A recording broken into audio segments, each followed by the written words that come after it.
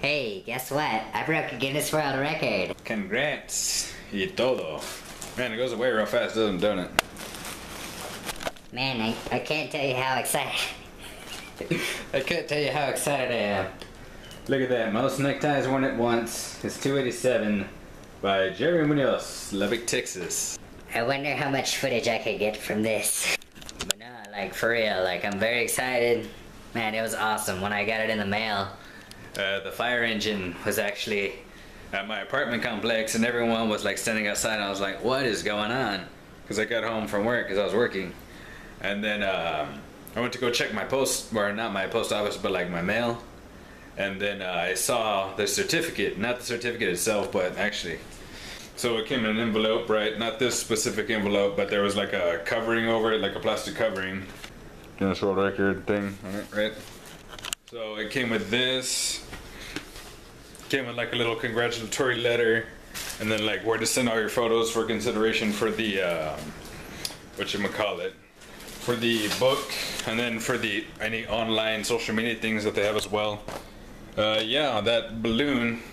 I actually knew about three weeks ago. Um, I got the record about a week ago, and then actually prior to that, I knew about two weeks from last week. So I, I knew three weeks ago, but I waited two weeks, or I waited until the certificate got here to um, to like officially announce it, like on social media and like to everyone else. So I had to keep that secret for like two weeks, and it was it was it was very difficult. Let's just say that. So this balloon, thank you, Mama. Congrats.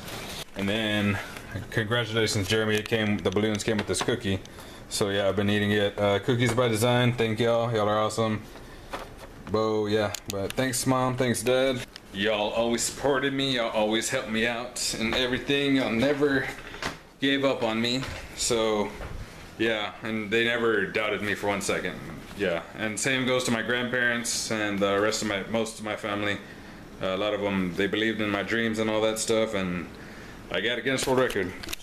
Then I did a little photo thing outside today. I just took a picture of it with my with my uh, Polaroid, and then so that was today. One of my friends, uh, I was helping her uh, with one of her cameras, and then uh, what do you call it? I was helping her with. She has a Polaroid. It's one of the like the newest ones. It's like a more updated version, and I should probably put socks on, uh, socks on because I'm about to go to the record shop. Because I haven't been to the record shop yet, and I really want to go, so I figured might as well go. I guess we'll see what we get when we get back. And then, um,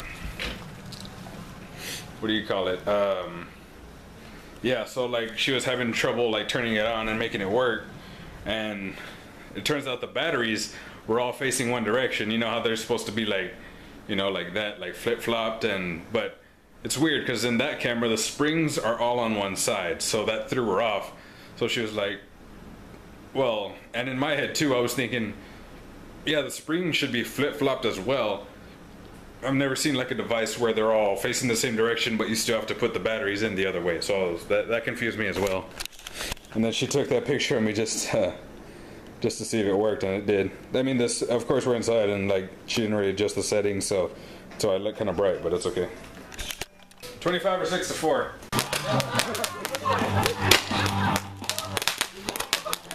I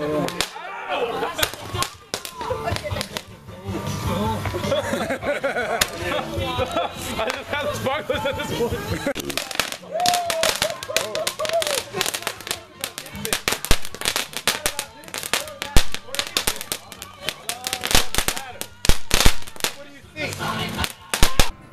And a resident of the Concho Valley has broken a Guinness World Record.